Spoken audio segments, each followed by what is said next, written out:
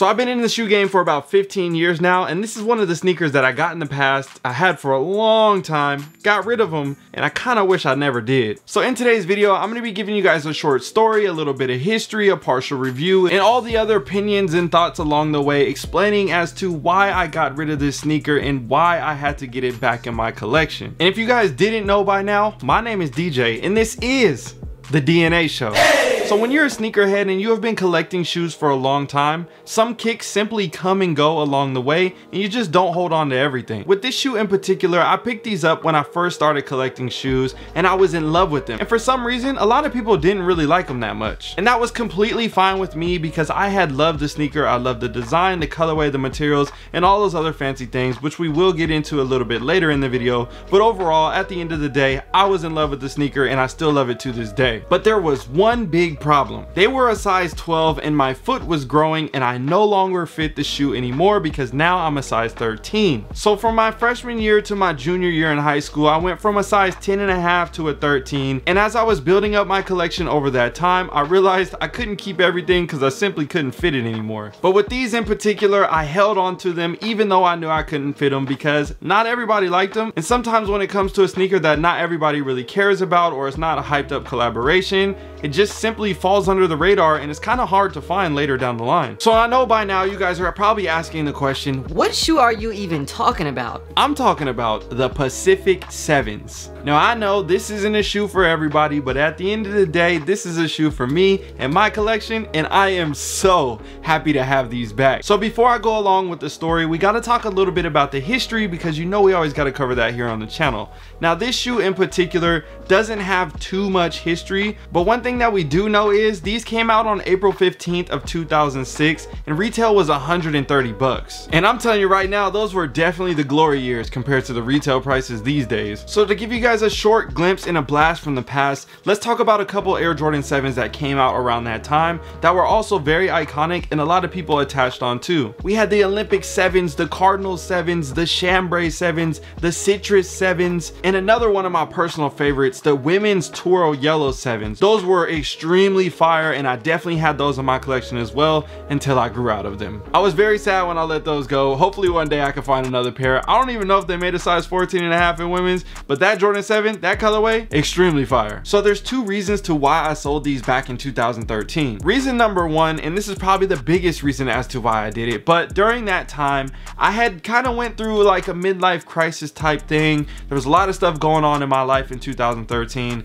and I just needed to get rid of all the extra stuff, all the extra things, and I knew I could get money from it and it was gonna be a valuable thing and I could use it either way and I could use it to something else. So I kind of knew like, okay, what can I get rid of that I just don't need anymore? And I, I just literally sold every single pair of shoes in my collection that was not a size 13. I didn't keep it. No matter how hard it was to get, no matter how valuable or cheap it was, no matter uh, any, no sentimental value, you name it, I just got rid of it. Every single thing that wasn't a size 13, I got rid of. So knowing that my pair from high school was a size 12, I had to get rid of them. And the day that I got rid of that shoe, I told myself it's probably gonna be kind of hard to get simply because when I had posted them for sale, I realized not that many people were even selling the shoe, which meant if I tried to get the shoe later down the line, it's probably gonna be really hard to get, especially in a good condition because typically the longer a shoe goes on and it gets worn and worn and worn over the years,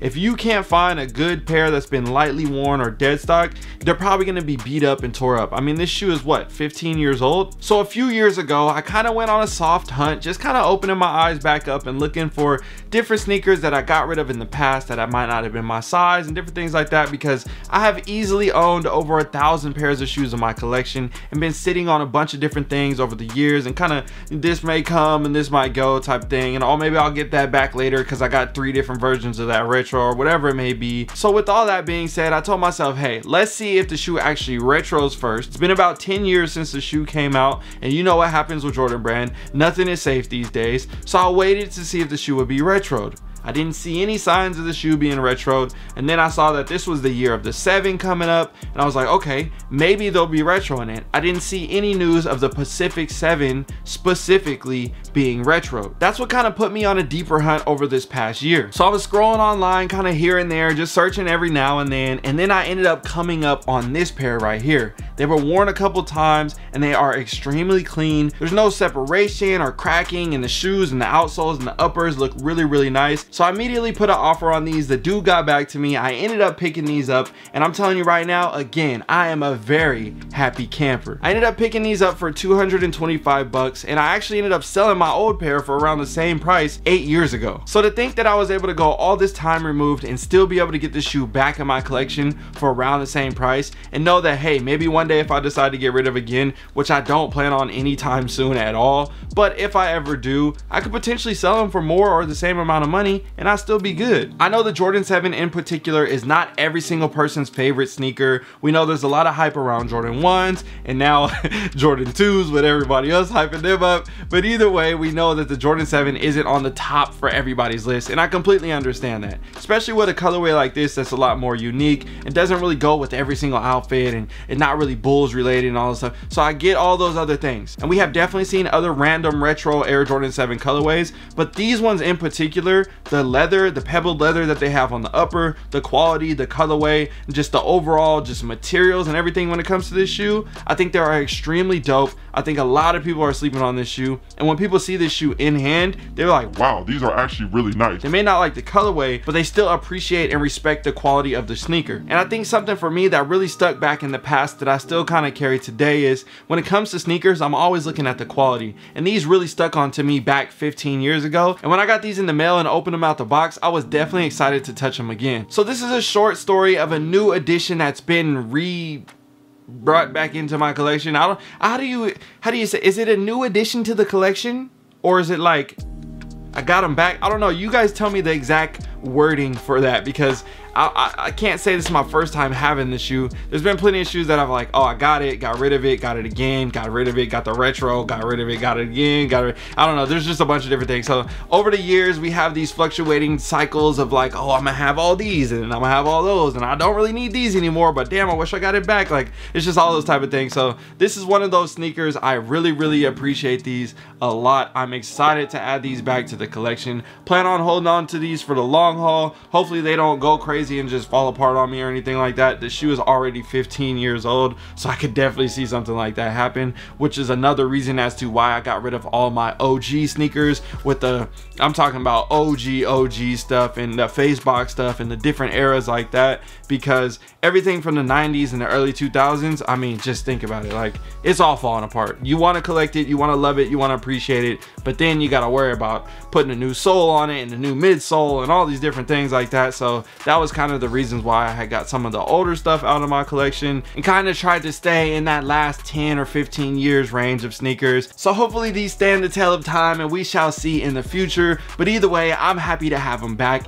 and add them to my Jordan 7 collection again. I hope you guys enjoyed this. I look forward to giving you guys more stories and videos about all my sneakers and explaining how I felt about it then and now and how I got it back and all those other different things like that. Just kind of giving you guys a video journal of my collection and different parts and bits of it and telling short stories along the way. So I hope you guys enjoy this. I appreciate you as always. All right, y'all, I'm out.